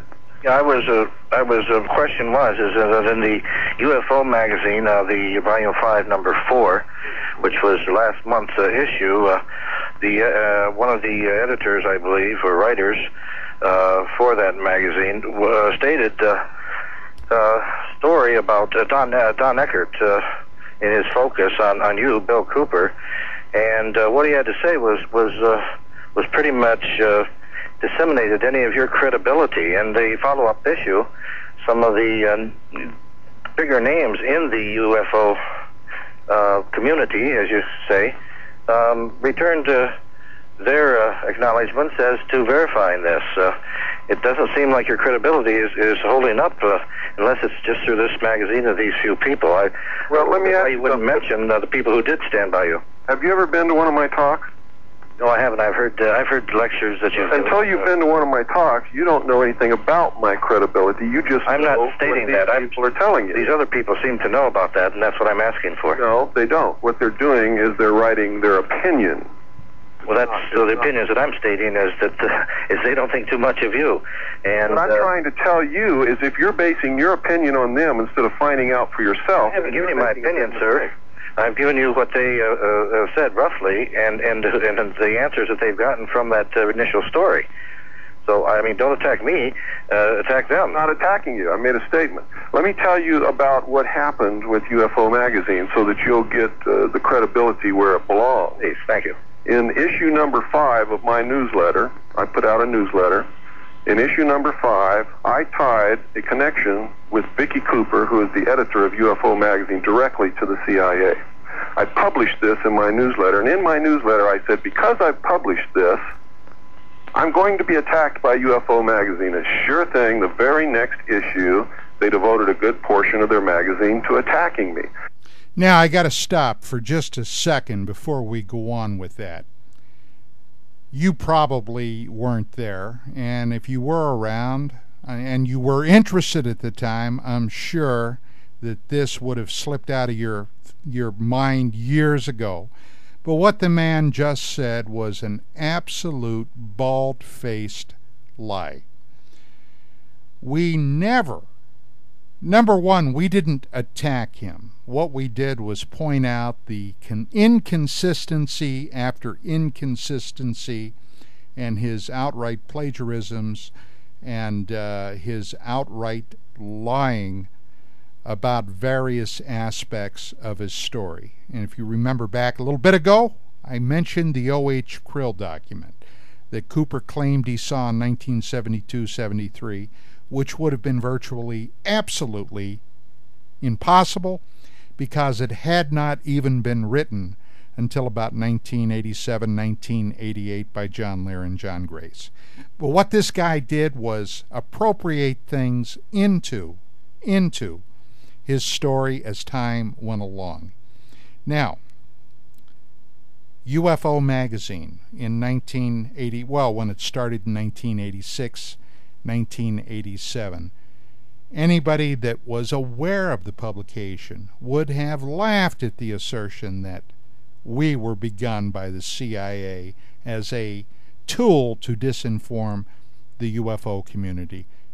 There were at tops at that time three people myself, Vicki, and Vicki's partner Sherry Stark doing this magazine. I mean, this is just outlandish. But anyway, let's go back and hear this maniac. Previously in their magazine, they had never once written anything about me or anything that I have ever said. In the attack, they never wrote anything uh, that I'm trying to get across to the American people. They just attempted a character assassination. Now, this is the attack she has made on Vicky. statements to many, many people that she doesn't believe in UFOs. She has made statements to many, many people, and I can prove that in, in writing, uh, that uh, that uh, her magazine is controlled by the CIA. She's made statements to many, many people that uh, all of the uh, leaders in the UFO field are government agents. Uh, she has uh, no interest whatsoever in UFOs. She publishes articles um, that supposedly give out official government information that's been leaked, but it's always printed under an assumed name, and I think the name is Nielsen. Um, all kinds of weird things with that magazine, but there is a definite CIA connection with uh, Vicki Cooper and uh, UFO magazine to the CIA. So, there you have it from Bill Cooper himself. Hey, we're going to take another quick break. Then we're going to come back and pretty much finish this up because the best part is yet to come because I call in and get on the show. So stick around. You're listening to Dark Matters Radio right here on the Patriots Brigade Radio Network.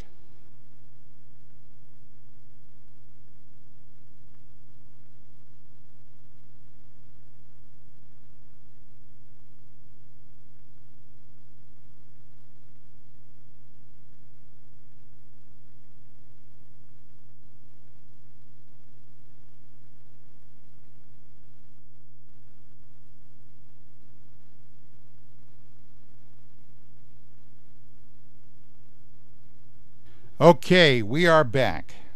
Now, in the last part, if you've been paying attention, you'll know that I was at home minding my own business late at night on the evening of September 26th and the early morning hours September 27th, 1990. I get a phone call and somebody says, Don, have you been listening to the Billy Goodman show? And I said, No. So I ended up tuning in and I heard Mr. Cooper. Well, immediately I grabbed my trusty telephone. I knew Goodman's call in number and I began calling in. And sure enough, lo and behold, I got his producer on the phone. And I told him, I said, Hey, guy, this is Don Ecker from UFO Magazine. Now, I understand my name's been bandied about quite a bit this evening. So here's Billy's choice. He can put me on the air right now, or tomorrow morning, our attorneys will be giving Billy a call. Well, needless to say, the producer went in, told Billy I was on the show, that I was on the phone, and sure enough, he told the audience, and then he started pumping it for the classic showdown. Right here on the Billy Goodman happening. You're saying that's Don from UFO Magazine, Roger? My producer says that Don Eckert from UFO Magazine has called in. He is on a line, and he'd love to address you this morning. Um, I think it's only fair that you should know that ahead of time. Are you ready for him? I'm always ready for Mr. Pecker. no, Mr. Eckert. Mr. Eckert. Easy, Bill. We're on national radio here. You can see what a classy, classy guy Cooper was. Hey, I can't be easy. That man's an Yeah, but- but you can't I chop enemies to I, pieces. I know, but you want? yeah, but you can't say things like that on the radio. Yeah, you affect our Say situation. anything wrong, Billy? Oh, you didn't? No. Oh, And there we go. Billy Goodman, the buffoon, and Cooper's shill. His meal ticket. Come on. okay. Maybe you're right. Maybe I misinterpreted what you said and uh, the double entendre meaning or something. I'm not quite sure myself. You Oh yeah. So Many, anyway, many- we get on. We get on. UFO Magazine. we get on the show, and uh, Billy brings me on the air. Boy, I had a lot to say. I didn't have all that much time to say it, so I wanted to make sure that those things that I did have to say, I got out. Because here's a little something that you're not aware of, but prior to Goodman being fired from his gig at KVEG, when he was still down in Las Vegas before he started doing a show which was based out of Utah. Cooper had come on there when our first part one of the expose ran and really, really attacked us. I had called Goodman up and I got him on the phone and I demanded to come on the air and debate Cooper. Now, this is going to be important because later on, this little fact is going to pop up. And lo and behold, Goodman said he was going to bring me on so I could debate Cooper out of Vegas, and he got fired from his gig. So now we're in Utah, okay? Or it's coming out of Utah. And here was me coming on the air. saying many, many things uh, over the years. And now Don Eckert has done some research and some investiga- investigations, and he's claiming that Bill Cooper is a fraud and a liar. And Bill Cooper is ready to defend himself and uh, to say exactly what he thinks of Don Eckert and uh, back and forth. So you don't want to miss it. It, it will be an interesting exchange. Don Eckert, good morning, gentlemen. Yeah, good morning, Billy. How you doing? I'm doing quite all right. How about yourself, sir? I'm doing fine. First off, I would like to uh, say that I hope that I'm going to be able to make my statement without either being interrupted by Mr. Cooper uh, or yourself. The last couple of times that I've been on the air with Cooper, it seems like I always get cut off before I have a chance to say what I have to say. Okay. Poor little thing. Okay, how much time do you need, uh, Don? Uh, and we'll let you go for it. Well, I'd like to have at least four or five minutes. Okay, and then we'll let uh, uh, Bill Cooper respond for that, and then we'll take a break. Go for it. Okay, number one, we started doing an investigation on Cooper back in April of this year when he came out with one of his Kaji newsletters uh, slandering a number of people in the field, to and include uh, John Lear and Bob Lazar. Now, Bob Lazar, as some of your listeners I'm sure are aware, is purportedly a physicist that had been employed as, at a super secret uh, government installation at Nellis Air Force Base at Area 51S4. Now, according to the information that uh, came out at that time, and as a matter of fact, Lazar had been a guest on your happening when you were broadcasting out of Las Vegas.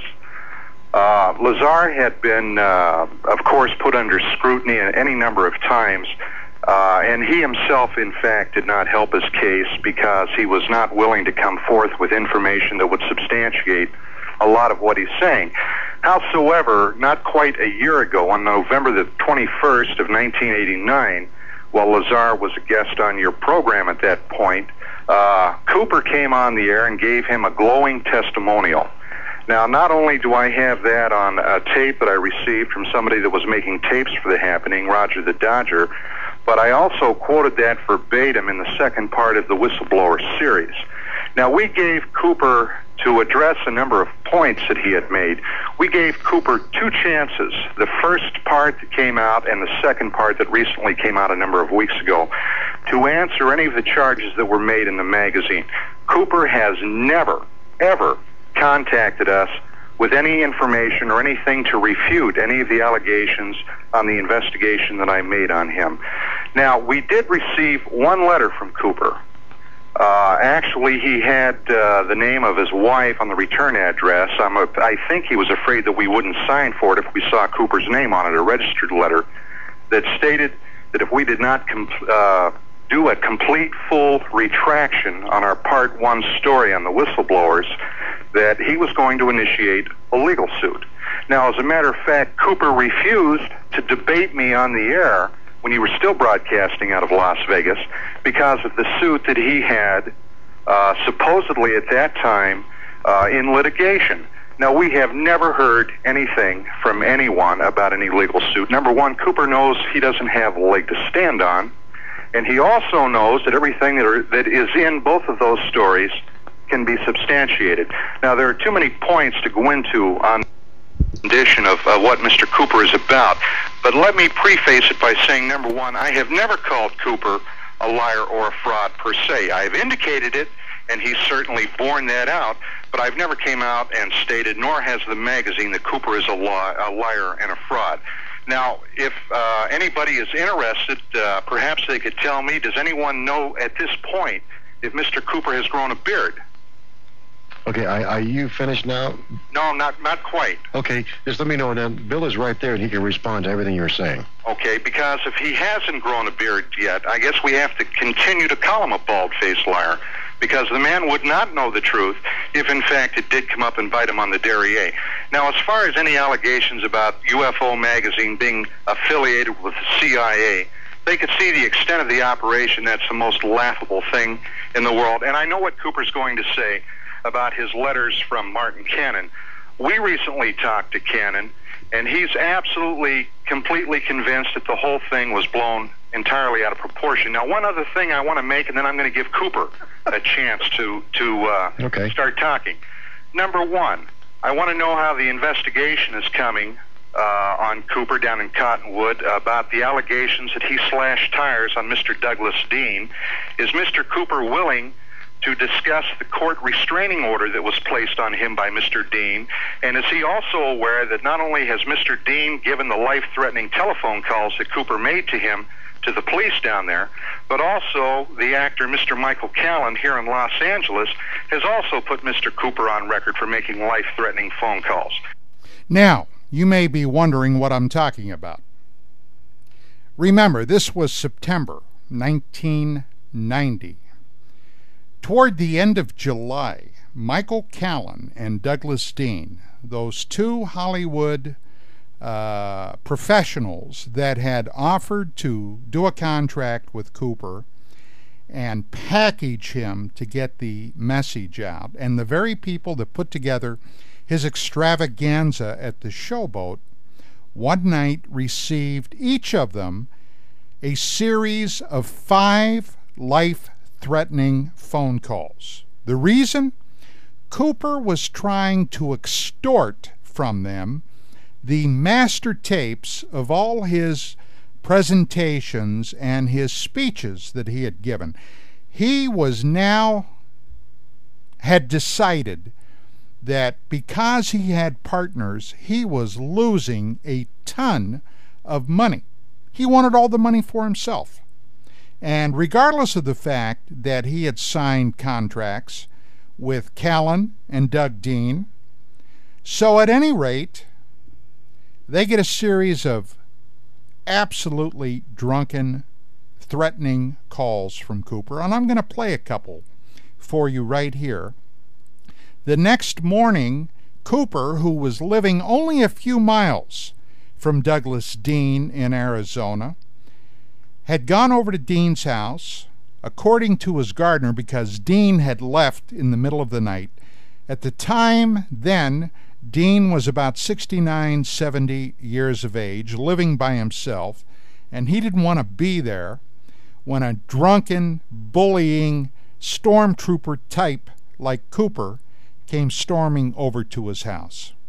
When he got home later that day, after Cooper had been there and left, and he found this out from his gardener, all four tires on one of his vehicles was slashed. But I'll let Doug Dean tell you about it.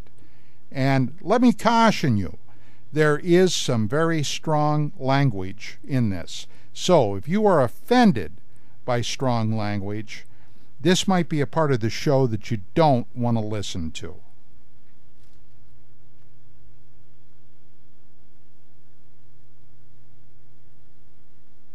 in his weakest spot and be successful. And if you should not be successful, don't give up. Attack and attack and attack and attack and attack until he's laying bleeding on the ground and cannot ever get up again. What you just heard is the voice of Milton William Cooper, Bill Cooper to his followers. My name is Douglas Dean, and I agree with his statement when you're confronted with an enemy who is all set to kill you.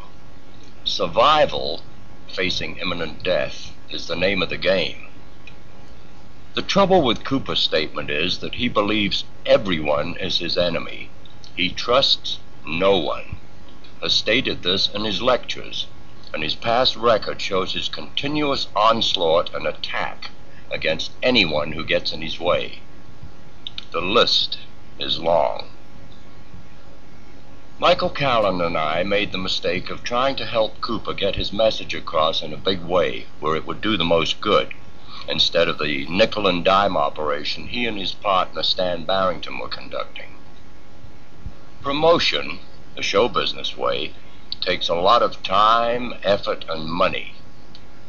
Cooper was all for it in the beginning but his innate distrust through the eight months of our association came to a head with his insistent demanding of all the master tapes of his lectures and interviews, which in reality never belonged to him, with the exception of tapes from two small lectures in Phoenix and Sedona, Arizona. Michael and I paid all the expenses to produce the rest of the tapes. Cooper and Barrington agreed at a meeting with Michael and myself at my home that we would not touch any of the monies taken in from the sale of the tapes, rolling over the account to take care of future expenses for larger orders of tapes until we had a sizable amount that we could start taking profit from after all the expenses were paid. The monies that I took in are still untouched in the Need to Know Productions account. Barrington still owes a sizable amount to that account from sales that he never turned in. Michael had three big lectures set up for Cooper, which he still doesn't know about. But Cooper's greed for the instant buck and demands for the master tapes gave Michael an uneasy feeling, which kept him from finalizing the deals that he was setting up. We are both more than happy that he didn't make those commitments. After a very poor turnout for his lecture at the San Diego Convention Center on May 26, 1990, Cooper's half drunken firing of me was really a big laugh now that I look back on it. I didn't then, and never had worked for him. On the 28th of July 1990 at 1.30 in the morning, Michael got a series of phone calls from Cooper over an hour's period. When the phone awakened him, all he said was, hello, and kept the message unit on record. The following are unedited copies of those calls from Cooper, which are on file with the Los Angeles Police Department.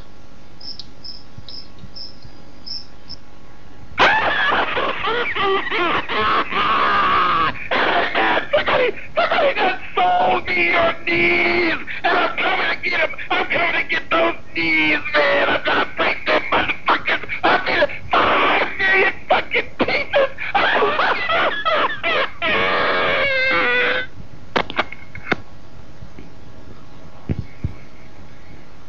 Michael, you've reached 602 567 6536.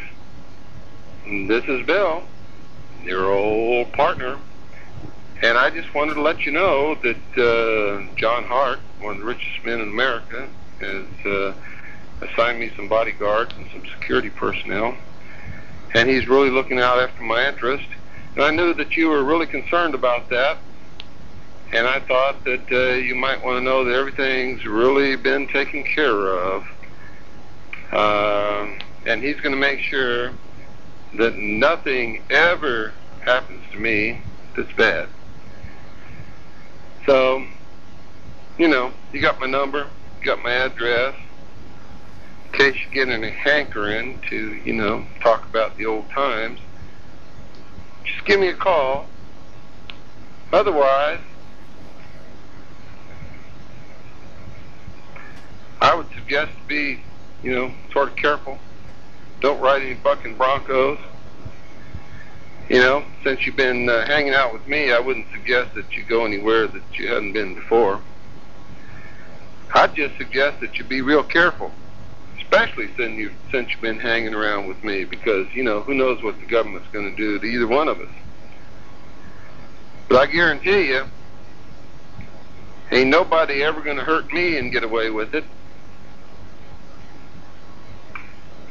I suggest you think about that. Take care, Mike. I love you. Annie sends her best wishes, and you know, little Dorothy, she ain't talking yet, but she loves you too. And we're going to make sure that you amount to something. Even if it's a pile of horse shit. You take care of yourself. We're going to be thinking about you all the time. And, you know, we'll call you in a couple of weeks just to see how you're doing. Take care, Michael. We miss you. I mean, we really miss you. And we're going to get you a real good present real soon.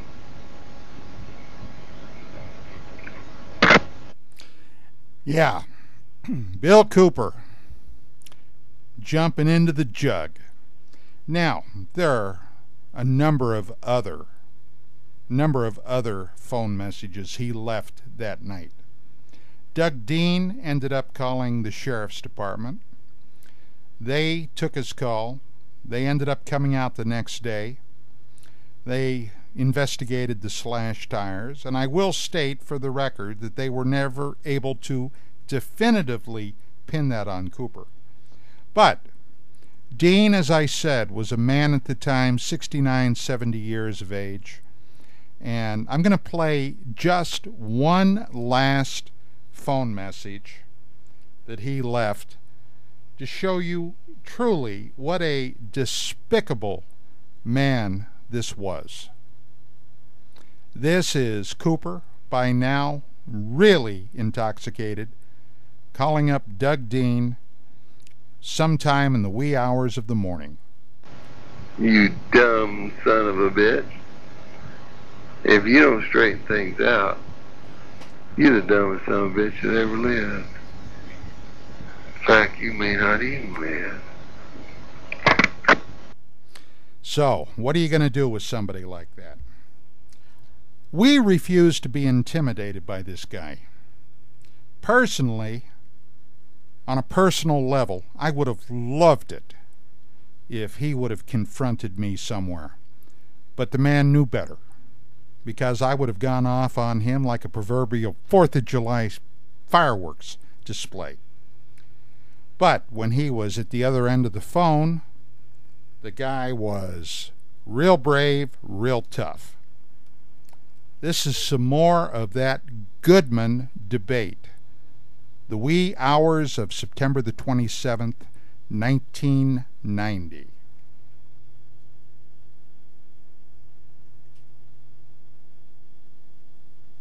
because of the credibility factor. I I think the facts are that the reason that people The man wanted. tell the truth or doesn't he? It's cut and dry. Okay, but Don, I think with the mail that I received, I just want you to know what they wanted to know.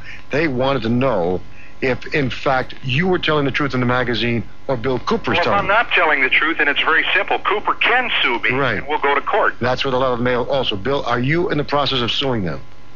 Well, if, if you'd gotten my newsletter number six, you would have seen that because of what UFO Magazine has done, I now have more speaking engagements than I've ever had in my life. Well, that's a nice Issue job, number Al. six, I encourage Vicki Cooper Wow. and Don Eckert to continue because now people who never heard my name before want me to come and talk in their town. Now that's that's my point, Billy. Uh, but that's you not were the- still in Las Vegas, and I tried to go on head to head with Mr. Cooper, Mhm. and he stated that he already had a legal suit filed. Right. Now I rest Whoa, my whoa, whoa, case. wait, wait a minute. I called Billy Goodman back and told him that I would be willing to go on with you that Saturday. That's right. Billy said that you were then not willing.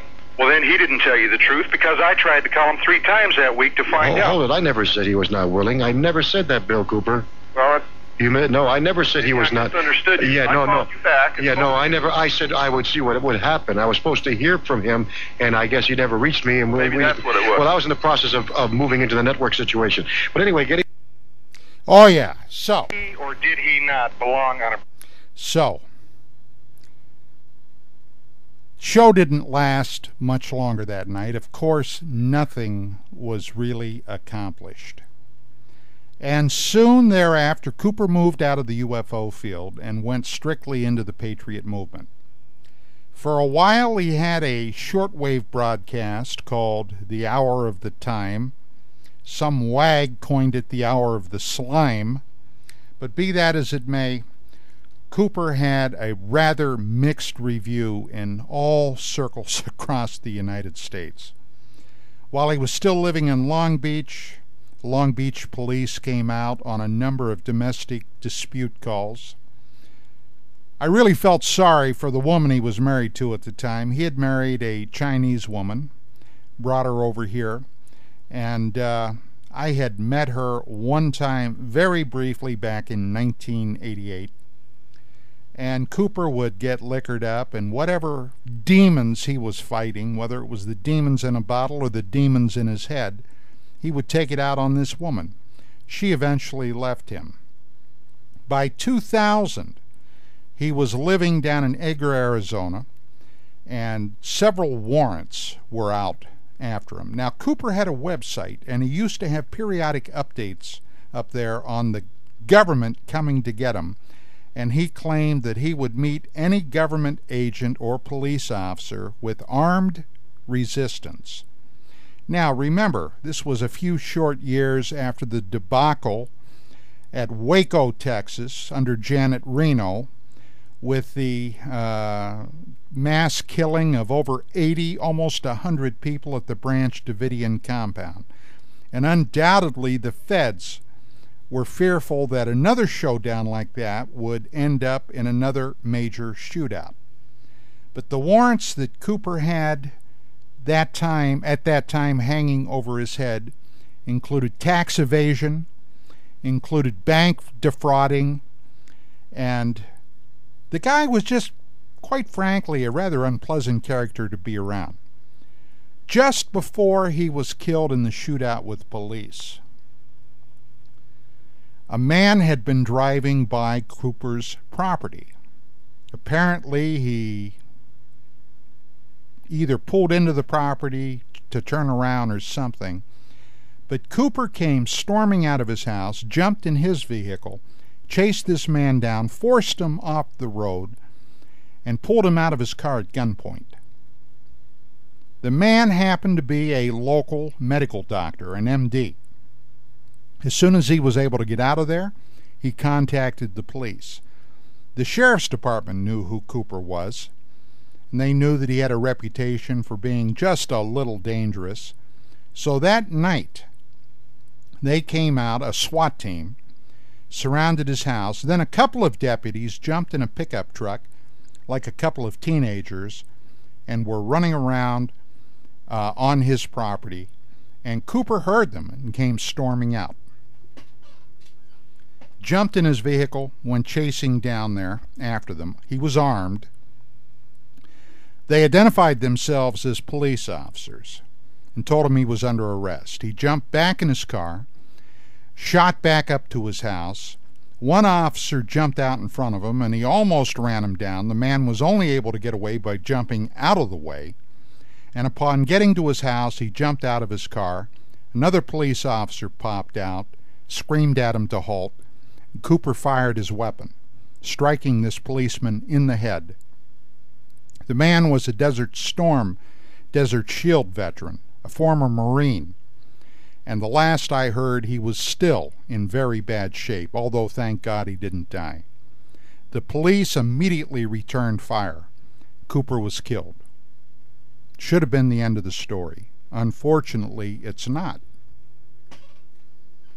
There are still people out there that think that Bill Cooper was the real deal. I wrote an obituary for him for UFO magazine.